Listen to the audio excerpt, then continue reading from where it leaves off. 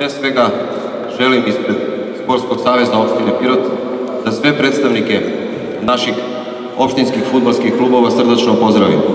Činjenica da ste se okupili u ovako velikom broju govori u prilog da naši opštinski futbolski klubovi, a na našoj teritoriji ih ima 21, veoma utiču da poboljšaju sveobuhvatnu sliku, futbolsku sliku naše opštine, odnosno grada.